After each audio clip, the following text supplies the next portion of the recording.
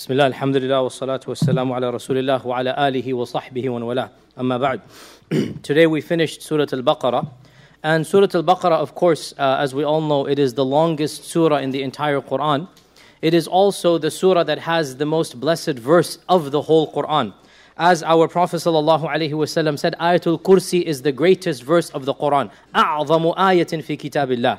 it is also the surah that has the longest verse in the Quran, Ayatul Dain, or the verse of uh, debt. It is also the surah that is the only surah that has every single arkan of Islam and Iman in detail.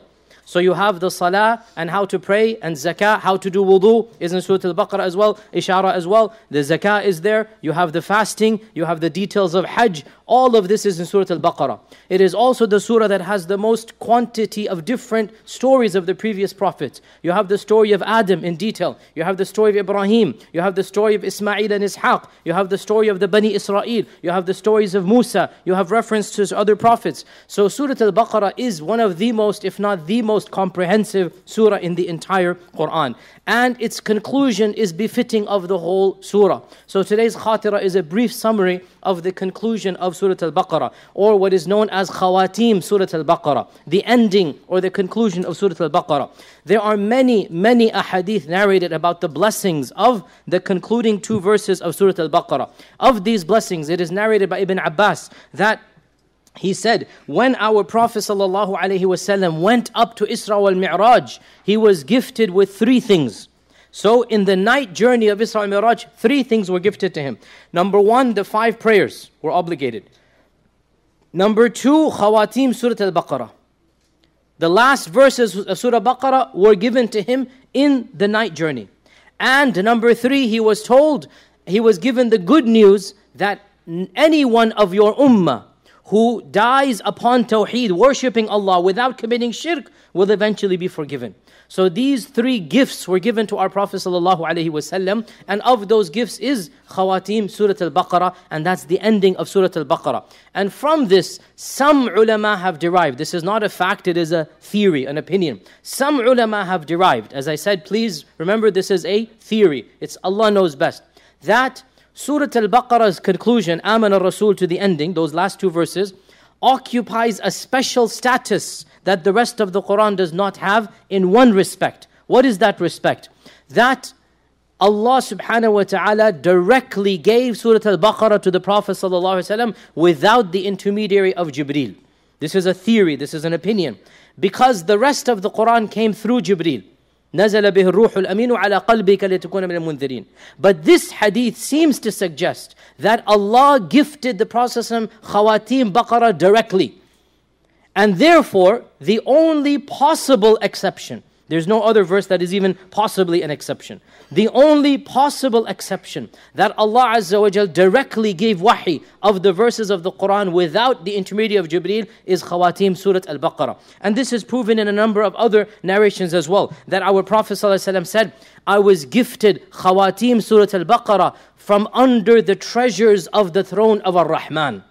So Khawatim Surat Al Baqarah, Aman Rasul to the ending it is coming from right under the throne of Ar Rahman. The treasures that are there, so it is the highest place possible because above the throne is nothing other than Allah. So the highest place possible that the Prophet ﷺ could have gone, that is where he said, I was gifted Khawatim Surah Al-Baqarah from under the treasures of the throne of Ar-Rahman. So Khawatim Surah Al-Baqarah, it is originating from obviously Allah subhanahu wa ta'ala being gifted to the Prophet ﷺ from under the treasures of the throne. And it is narrated in Sahih Muslim that once Jibreel was sitting with the Prophet wasallam and he said, Ya Rasulullah, this is an angel that has come to you. So a new angel came. This is an angel that has come to you. And Allah gave him special permission to come down. This is the first time he's coming down to this earth. And a door has been opened for him from, from, from the skies, from Samawat, that has never been opened just for him to come down. So this is a special angel coming that is coming with some Special news. And the angel gifted, or he said to the Prophet ﷺ, that you are getting something that no prophet before you has ever gotten.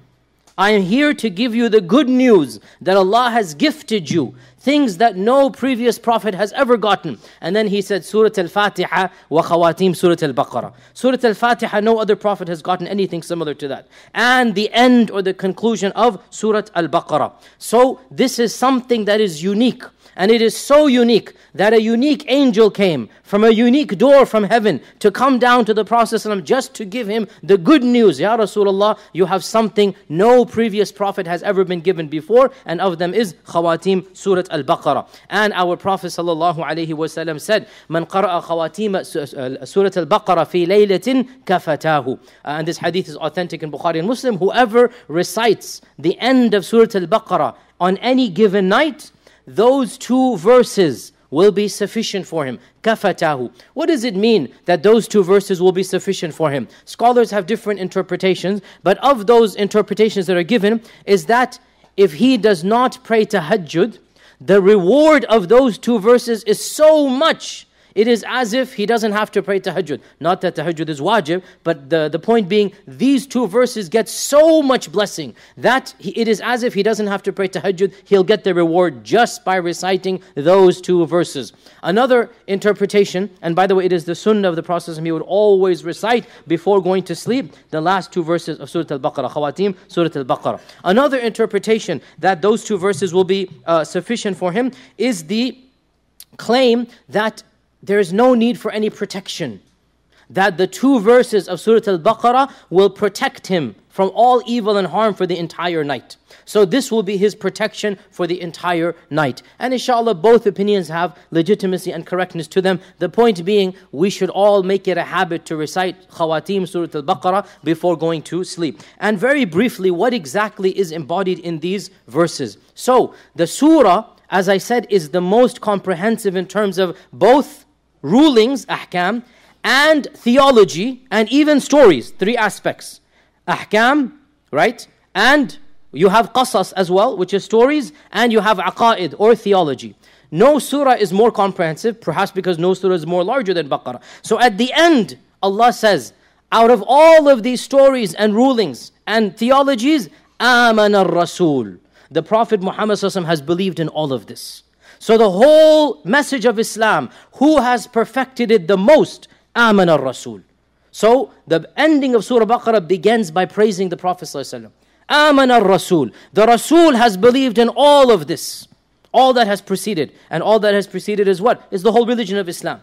Aman al-Rasulu bima unzid ilayhim rabbi wal mu'minun and the believers as well believe like the Prophet believes. But there's a clear distinction. آمن الرسول بما أنزل إليه من ربه then والمؤمنون. Big difference between al-mu'minun and al-rasul. But still, this verse praises the Sahaba as well. Because the believers, when this verse came down, who were they? They were the Sahaba. So the Muhajirun and Ansar, Allah is praising them. The Mu'mins have also believed in all that has preceded. Kullun, all of them. The Prophet and the believers, the, the Sahaba. كل آمن بالله وملائكته وكتبه ورسله. So here we mention four of the arkan. كل آمن بالله وملائكته وكتبه ورسله. How many left? Two left. Yesterday I said about qadr, a lot of times Allah doesn't mention qadr explicitly. Why? Because qadr comes under comes under belief in Allah. So belief in Allah is incorporated. It's incorporates qadr. How about day of judgment? At the end of this verse, غفرانك ربنا وإليك المصير وإليك المصير to you is the return. So the day of judgment is mentioned in this verse. Okay? So the first four are mentioned, then the end of the verse directly and explicitly mentions the day of judgment. So the five arkan are mentioned in this verse to believe in the arkan of Iman. Then all of them believe in Allah and the angels and the books and the prophets, and we don't distinguish between any of the prophets. And of course, if you read Surah Al Baqarah, how many prophets are mentioned? Ibrahim is mentioned, Ishaq is mentioned, Yaqub is mentioned, the Asbat are mentioned, Musa is mentioned, uh, Adam is mentioned, so many prophets mentioned. And Allah says, the Muslim believes in all the prophets of Allah. And we are the only religion on earth that respects all of the prophets without exception. Every other religion picks and chooses. And this is one of the specialities of Islam that no other religion can claim. We are the only religion that believes in every man that Allah has ever sent as a prophet. And we respect all of them and we do not speak ill of any of them. لا نفرق بين أحد من رسله وقالوا سمعنا وأطعنا غفرانك ربنا. And they, meaning the prophet and the believers, they say, we hear and we follow and obey. Sami'na, what do we hear? The commandments of Allah. And as soon as we hear them, we implement them. Wa and as we implement them, we recognize we're not going to be perfect. So, غُفْرَانَكَ رَبَّنَا If we mess up, if we're not perfect, if we make a mistake, غُفْرَانَك We want your maghfirah, O our Lord, وَإِلَيْكَ الْمَصِيرُ And to you we shall return. Now, there's an interesting story mentioned in uh, Sahih Muslim as well about this, that the, the previous verse, right before this, Allah subhanahu wa ta'ala mentions in it that whatever you say and whatever you hide, in tubdu ma fi anfusikum aw tukhfuhu, yuhasibukum bihillah. Allah will call you to account for it. There will be muhasaba, even of that which you hide, which means your thoughts, which means your desires that you don't act upon. So we learn in the Sahih books, the Sahaba came to the Prophet ﷺ and they sat down, and then one of them stood up on his knees in front of them, and he said, Ya Rasulullah, O Messenger of Allah, Allah revealed to us Salah, and we followed. And He revealed Zakah, and we followed. And He revealed Jihad, and we followed. And everything we followed. But Allah has just revealed a verse, we cannot follow it. Before He could say the verse, our Prophet ﷺ said, Don't speak like this. This is not the way of Iman that you say, I cannot do. Rather say, سَمِعْنَا وَأَطَعْنَا غُفْرَانَكَ رَبَّنَا He said this before the verse was revealed. Understand? He said this, سَمِعْنَا وَأَطَعْنَا غُفْرَانَكَ رَبَّنَا Before the next verse came, he's telling the Sahaba, don't speak that I cannot do what Allah says. Rather say, we will try our best and may Allah forgive. سَمِعْنَا وَأَطَعْنَا غُفْرَانَكَ رَبَّنَا So when he said this, they immediately said, سَمِعْنَا وَأَطَعْنَا غُفْرَانَكَ رَبَّنَا That this is what we say. Then he said, they said, but oh, but oh Messenger of Allah, Allah says He's going to call us to account even for our thoughts. Because in tubdu ma fiyusum aw oh, tukhfu yuhasibkum billah. By the way, technically speaking, muhasaba does not mean you're going to be punished for it. Muhasaba means Allah knows. There's going to be accounting but not necessarily reckoning. I.e., you hisab is it's recorded. Allah knows. And Allah does know. Hisab does not mean you're going to be punished for it. And this is our sharia that Allah knows our thoughts, but we're not going to be punished for them. So Allah Azza wa then revealed the praise of the believers. وَقَالُوا سَمِعْنَا وَأَطَعْنَا غُفْرَانَكَ رَبَّنَا This is the attitude. When you hear a new commandment, when you learn a new ruling, don't reject and say, I can't do this, it's too difficult. Rather say, سَمِعْنَا وَأَطَعْنَا غُفْرَانَكَ رَبَّنَا وَإِلَيْكَ الْمَصِيرُ Then Allah said, لَا يُكَلِّفُ اللَّهُ نَفْسًا إِلَّا وُسْعَهَا I will not put a burden on you more than you can bear. That's not who I am. My attributes of mercy and perfection do not allow me to put upon you more than you can bear. And this is a, a classical theological issue. It's called a taklif bima la yutaq. Can somebody be burdened with more than they can bear? And the Sunni position, Ahlul Sunnah say, no. Allah cannot place a burden on somebody more than he can bear. This is unfair. It is, it is not allowed in Allah's justice that He tells you to do something and He commands you to do something and you cannot do it. Which means every commandment of the Sharia is within the reason of the average human being. And if there are exceptions that a person cannot do it, then the wajibat don't become wajib and the haram becomes halal for the one who is forced to do it. When Allah says, La yukallifullahu nafsan illa wus'aha, this clearly indicates when you cannot do something physically, then it is forgiven from you. So the one who cannot stand up to pray, he's too weak. The one who cannot physically do something that is wajib, or the one who's dying and the only alternative is haram. We all know that the Sharia then allows the concessions. And this is the phrase, لا يكلف الله نفسا إلا وسعها لها ما كسبت وعليها ما اكتسبت a person will only earn what he has done and will only be punished for what it, he has done. Laha ma kasabat. Laha means in your favor. In the favor of the soul will be what it has earned. And kasaba implies a little bit of effort, which means it's more than just thought. Kasaba is more than just thought.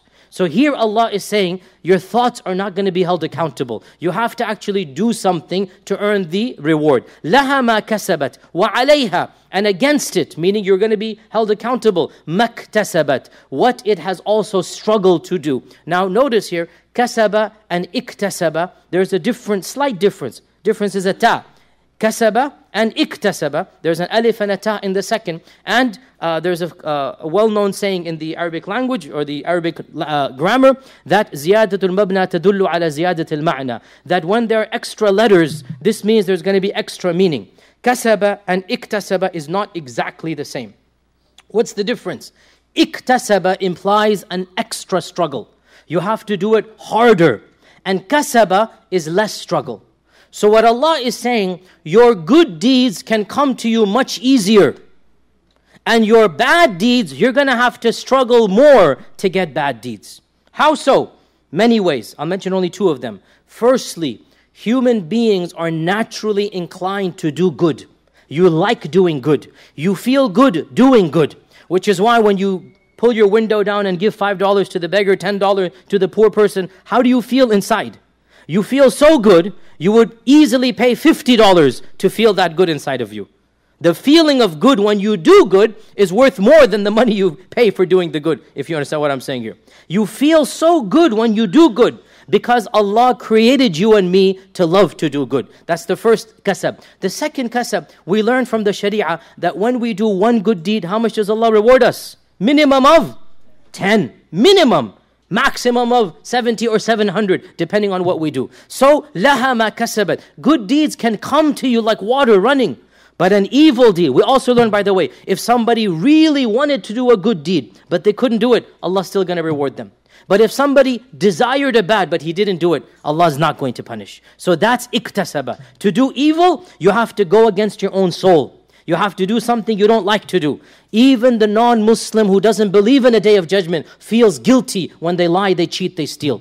It's in their human nature. You feel guilty when you do something bad. You have to go against your humanity to kill, to murder, to rape. It goes against who you are. So that's iktasaba. You have to fight yourself to do evil. This is what Allah is saying. Laha ma kasabat. You will get all the good easily, but harm, evil, you have to struggle to get that evil. وَعَلَيْهَا مَكْتَسَبَتْ Then Allah says, رَبَّنَا لَا تُؤَاخِذْنَا Oh our Lord. Now here the person, the tense changes. From speaking Allah speaking in the third person, now He's telling us what to say in the first person. And there's hope. When Allah gives the dua to us in the first person, there's hope that Allah will give us that dua. So رَبَّنَا Oh our Lord, لَا تُؤَاخِذْنَا بما لا ربنا لا تؤاخذنا Oh our Lord do not carry on us something uh, if we make a mistake in nasina wa akhtana if we make a mistake or we forget don't blame us and Jibreel said to the Prophet when this verse was revealed that Allah has said He will give you all that you ask for. This is yet another blessing. All that we ask for in this verse, Allah has given it to us. So, if we make a mistake or we forget, Allah is not going to hold us to account for that. رَبَّنَا وَلَا تَحْمِلْ عَلَيْنَا إِصْرًا كَمَا حَمَلْتَهُ عَلَى الَّذِينَ مِنْ قَبْلِنَا Oh our Lord, do not place an isr. Isr is a heavy burden. And the previous shari'ahs had a much more bigger burden. Their sharia was much more difficult. If you look at, for example, even to this day, those who follow the previous sharia, such as the Orthodox of the Jews, their sharia is so difficult. If you read up what they have to do, it's so much more rules, so difficult. Their cooking, their cleaning, their everything is so much more. And that was the law that Allah gave them. And you compare our sharia in every chapter, it's easy, easy, easy. And this is what Allah is saying. لا تحمل علينا إصرا. Don't put those burdens on us as you put on those before us. ربنا ولا تحملنا ما لا طاقة لنا به. Oh our Lord, do not place on us that which we cannot bear. The primary interpretation here, this is the punishment of the akhirah. Don't allow us to taste that punishment because that is the real punishment we cannot bear. لا تحمل علينا ما لا طاقة به. Don't put us in that which we cannot bear to do. Then, wa'fu anna, waghfir lana, warhamna. wa'fu anna. wa'fu anna here is for the wajibat we cannot do. If there's something we were supposed to do, we couldn't do it, oh Allah, afu. Just ignore that. Wipe it away. wa'fu anna, waghfir lana. If we commit a sin that we should not have done, then forgive that sin. So, wa'fu anna, for the wajibat we couldn't do. Waghfir lana for the sins we shouldn't have done but we ended up doing. Warhamna and have mercy on us because we need extra from Allah. We need Allah's rahmah. We need we we do not want equal that if we do one give me one. That's not going to work. We want infinitely more. So warhamna embody us, envelope us in your rahmah. Wa'fu anna, waghfir lana warhamna, anta maulana. And maula here means protector and caretaker. So we are reminding Allah, we're telling Allah, reminding ourselves, Oh Allah, you are our Mawla, you are our wali. We have no wali other than you. And wali here means the one who takes care of, the one who protects. So the one who protects is supposed to overlook our faults. The one who protects is supposed to forgive us and give us mercy. وَاغْفِرْ لَنَا وَارْحَمْنَا أَنْتَ مَوْلَانَا فَانصُرْنَا عَلَى الْقَوْمِ الْكَافِرِينَ Those that have opposed you and have rejected you and are fighting against us, oh Allah, we need your help to oppose them as well. So these two verses are Khawatim Surah Al-Baqarah and Jibreel told our Prophet sallallahu alaihi wasallam, your Lord has promised, قَدْ فَعَلْتُ I have given everything that you ask. So let us memorize these two verses and let us recite them on a daily basis and especially before going to sleep so that we can insha'Allah ta'ala partake of the blessings and especially of the dua at the end of this verse. Wassalamu alaikum wa rahmatullahi wa barakatuh.